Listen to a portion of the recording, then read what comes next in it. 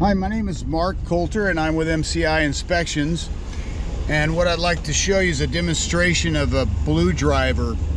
And what a BlueDriver is, is a data link connector.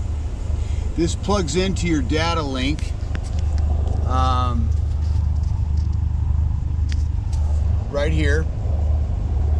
And this is the uh, operations manual, which is pretty simple. It's two pages, not real difficult.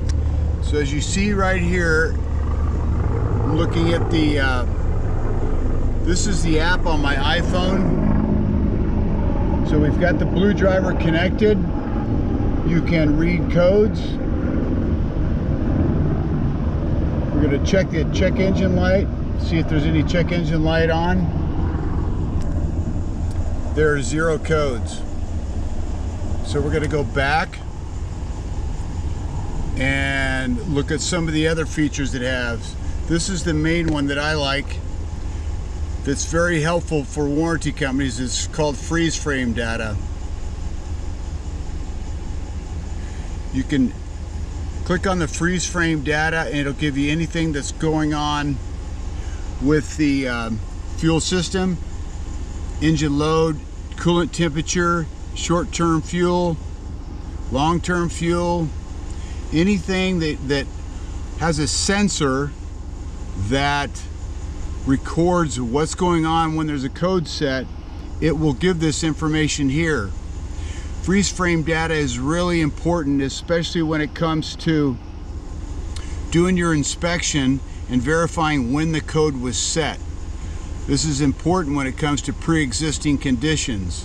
So this, saw, this device, you can hook up to any OBD2, OBD3, and basically get all of this stuff. It's very simple to use. You can see it right here. Read codes, freeze frame data. You can uh, see if the check engine light's on. Um, all the stuff here, clear codes, saved reports. Now you can save the freeze frame data in here and then upload pictures of that freeze frame data with your report. So this is really important. I'm going to show you a link also um, where you can buy this. It's about 90 bucks. There's other ones that you can buy that are cheaper, even down to 25 bucks that will do the same thing. But this one I particularly like it's an ease of use. It's real simple. As long as you have an iPhone, an Android, or an Apple, uh, it doesn't matter.